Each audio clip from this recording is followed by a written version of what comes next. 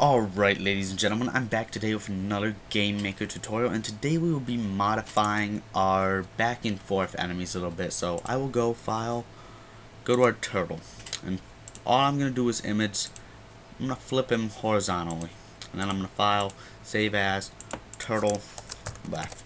Is it right? I mean it's heading right. Turtle right. Okay? And this is going to be important for today's tutorial. So first off, I'm going to have to go open up our recent tutorial and then I'm going to go and load up that sprite and it'll be turtle right. Now what we want oh I did something stupid there. Delete. Yes. So for turtle right we are gonna have to load up our turtle right sprite. And some crap. Stupid um whatever this thing is. File turtle right As per usual, paint has to make everything suck. So we have to, not paint, um, whatever this program is, have to make everything. So for our left and right turtle, what do we want to happen? Well, I'm going to use paint to try to explain it a little bit better. So right now, our turtles are going back and forth like this. Well, they're currently only facing this direction, the, way the air is pointing. We want it so when they hit this wall, they turn and go this direction. And when they hit this wall turn back to facing this direction. Well what what we can do let's let's do that for starters. What we can do is make it so when he hits the wall and um, what direction is he facing right now he's facing that. When he hits the wall we can uh, reverse we can change the sprite to turtle right. And this this will be uh, interesting. So we have that there but he stays at that he says that when he hits this wall, he doesn't change back to the other one. We need to insert a variable so that when he hits this, when he hits from this way, he changes to the sprite that faces that way and that way. And when he hits this way, he changes to the sprite that faces that way and hits that way. And on and on and on and on. Well, how are we going to do that? Well, we're going to need a variable. And that's what today's Game Maker tutorials is about.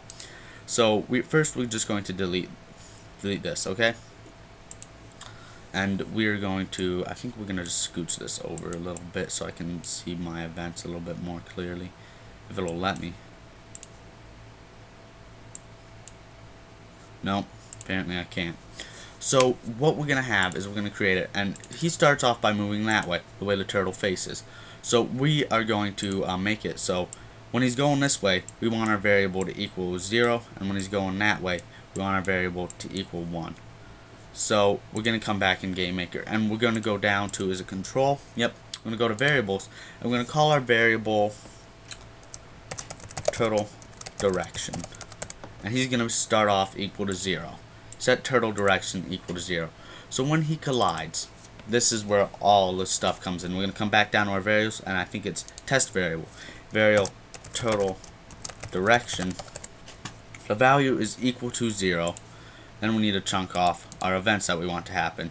And then just an else. Because, you know, there's only two that can happen. So if turtle direction equals 0, what we're going to have is we're going to, first off, we're going to set the uh, variable turtle direction to 1. Alright. I'm going to have to pop them in there. And I'm just going to copy this and paste them here, I think. And we're going to set them to 0 when, he's, when the other one happens. So when he when he gets set to 1, we want him to face that way. So what we're going to do is come back to main 1. Going to pull the sprite in there. Change the sprite to turtle right, is it? Yep. Speed of 1. And then I'm going to pop in here, create sprite. We're going to change the sprite to just regular turtle when it happens at a speed of 1. We're going to change this here. Now this will do this will go a long way and making our game look a bit more professional. See, look, bounces back and forth. And we can do the same with the top and bottom ones, but I don't really want to rework the sprite, re remake the sprite for that. So, you know, our game just looks a ton more, like, it just looks cleaner. So, and it's just variables, um, checking variables. We just used an integer for this one. So if it equals 0, that's how it, like it goes back and forth. And it was really simple, and this is probably a really short tutorial, probably only a couple of minutes. I'm sorry about that, but this is like really something really like, you know, simple, but adds a lot more cool things to the uh, thing. This is, like, we'll also use variables for when like the direction the player is facing for when we want to shoot the bullet. You know. Also going to uh, let that. Yeah that's like for for what player like what direction player shooting has we can have like a variable for um I really don't know. Like you can do a lot with variables like but like most of the variables are handled by game maker like your score all that good stuff. And I figured now would probably be a good time to no I don't have any sounds on hand but next time next time we'll do sounds. Sounds are really simple you're gonna love them alright see you guys later